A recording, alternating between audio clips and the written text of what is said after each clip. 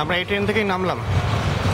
সেটা ছিল দু হাজার ছয় সাল, যখন আমরা ছয় বন্ধু, দীপঙ্কর, সঞ্জয়, শুভ্র, কৃষ্ণ, সন্দীপ আর আমি বিশ্বদীপ এসেছিলাম এই ডুয়ার্সে।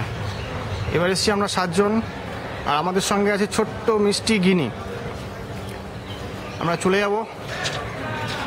প্রথমেই চলে যাচ্ছি শুভ্র। শুভ্রর কাছে। শুভ্র, তুমি হাসিমাতে এখন নামলে। একটু পরে বড়দা বাড়িতে যাবে। তোমার কেমন মনে হচ্ছে? তোমার ফিলিংসটা কি? সেটা আমার সঙ্গে শেয়ার করো। প্রতিবারের মতো ভালো লাগছে এবারও। আর সাথে আমরা এই বন্ধুরা যখন একসাথে আসি এবারে তো ফ্যামিলি নিয়ে আসতে পেরেছি ভাইকে নিয়ে আসতে পেরেছি আরও ভালো লাগছে। আর এখন কাজ হলো হচ্ছে এক্সপ্লোর করা যতটা পারা যায় এই স্ট্যান্ডুয়ার সেকশনটাকে তাই মনে হচ্ছে ভালো যাবে কটা দিন খুব ভালো যাবে। বাহ এবার চলে যাচ্ছি আমাদের ছোট্ট মিষ্টি গিনির কাছে। গিনি তোমার কেমন মনে হচ্ছে এখন? কেমন লাগছে? খুব ভালো লাগছে? আচ্ছা ঠিক আছে। তুমি কি রাইনো দেখবে ওখানে গিয়ে? রাইনো দেখবে না এলিফ্যান্ট দেখবে? এলিফ্যান্ট, বাহ। আপনারা দেখলেন ছোট্ট গিনিকে, খুব মিষ্টি। ওর জন্য আমাদের ট্রেনে একদম বড়োতে হয়নি। খুব আনন্দে কেটেছে আমাদের। আচ্ছা এবার আমাদের চলে যাচ্ছি আমাদের বাউল সঞ্জয়ের কাছে। সঞ্জয় তোমার হাসির মাতে এই সেকেন্ডবার আসা। প্রথমবার এসেছিলে তুমি ভুটান যাওয়ার সময় এই নিয়ে সেকেন্ডবার তোমার কেমন ফিলিংস হচ্ছে? এখন বলতে আমি তো বাউল কিন্তু এখন গলা গলার সেরকম অবস্থা নেই যে আমি একটা গান শোনাবো ঠিক আছে? আচ্ছা। তো এটুকু বলতে পারি যে আমাদের এই যে ট্রেন জার্নি এটা খুব ভালো কেটেছে। তার ইয়ে ছিল মনে ছিল মোটামুটি গিনি। আচ্ছা। আমাদেরকে সবসময় হাসি খুশি রেখেছে। বাহ। হুম। তো এই যেমন মর্নিং শোজ দ্য ডে আচ্ছা। আমরা বুঝতে পারছি যে আমাদের এবারে সফরটা ভালোই কাটবে ঠিক আছে? এবং সবাই সেটা ভালো করে এনজয় করব। ঠিক আছে? ঠিক আছে। আর আপনাদের বলে রাখি ছোট্ট করে সঞ্জয় এটা সেকেন্ড হানিমুন প্রথমে গ্যাংটক করে এসছে। শুভ্রাকে নিয়ে এসছে এবার। আচ্ছা এবার আমরা চলে যাচ্ছি অর্ঘর কাছে। শুভ্রার হয়ে যাক না তারপরেই তো হলে ভালো হতো। আচ্ছা আচ্ছা ইয়ে তাহলে আমরা শুভ্রার কাছে চলে যাচ্ছি সঞ্জয়ের পর। শুভ্রা তোমার কেমন লাগছে? আমার তো এই ফার্স্ট টাইম আসা। এখনও ডুয়ার্সে ফার্স্ট টাইম আসা? হ্যাঁ। আচ্ছা। তা দেখার পর বুঝতে পারব যে কেমন লাগবে। আচ্ছা। ঠিক আছে আপনারা শুভ্রা কথা শুনে বুঝতে পারলেন যে শুভ্রা খুব এনজয় করছে। আচ্ছা এবার আমাদের চলে যাচ্ছি আমাদের শুভ্রর ভাই অর্ঘর কাছে। সারাক্ষণ তো ট্রেনে খুব দায়িত্ব নিয়ে সামলেছে। যতটা সামলানো শুভ্র ওর মেয়েকে সামলাতে পারেনি।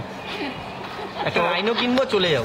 আচ্ছা। দ্যাটস মাই এক্সপেকটেশন যদি ভালো দামে পাই নিয়ে নেব। ছোট বাচ্চা। বড়টা মনে হয় দেবে না ট্রেনে উঠতে।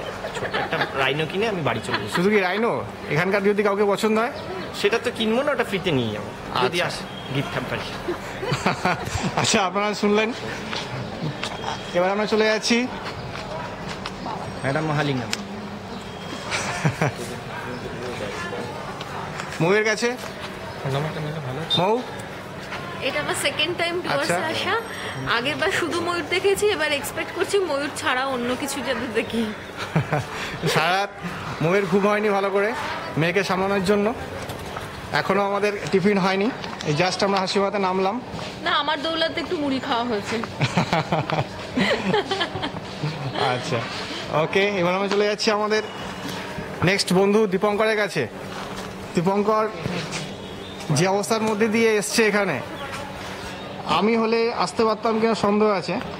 কেননা ওর, আপনারা দেখতে পাচ্ছেন মুখে ব্যান্ডেড প্রচণ্ড একটা পোড়া খুব ব্যথা তার মধ্যেও দীপঙ্কর এসছে। দীপঙ্করকে আমাদের তরফ থেকে খুব খুব ধন্যবাদ দিয়ে ছোট করব না। আচ্ছা দীপঙ্কর, তুমি আমাদের বলো, তোমার কি মনে হচ্ছে এখন? অবশেষে তো হাসি মারা এসে পৌঁছলাম। আর হাসিমাতে এসে কি হাসি পাচ্ছে?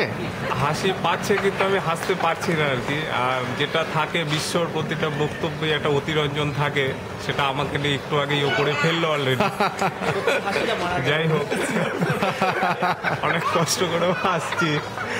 দেখা যাক। এরপরে আরও কি কি যেন বড়দা বাড়ি থেকে শুরু করে আর বক্সা এবং তারপরে কি যেন নামটা চিলা পাতায় আমাদের আরও অনেক অভিযান রয়েছে। সেগুলো আচ্ছা। শেষ পর্যন্ত আমরা কীভাবে কি করে উঠতে পারি সে অপেক্ষায় রইলাম। আচ্ছা।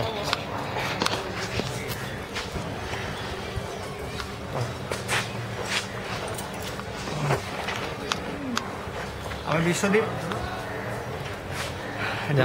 সেকেন্ড টাইম আসলাম।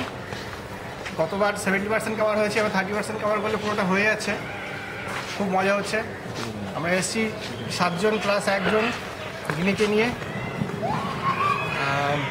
খুব মজা করব। আজকে জিপ সাফারি করব, কালকে এলিফ্যান্ট সাফারি আছে। তারপরে অনেক ছবি তুলব। সেগুলো আপনাদের পরে দেখাবো। আপাতত টাটা।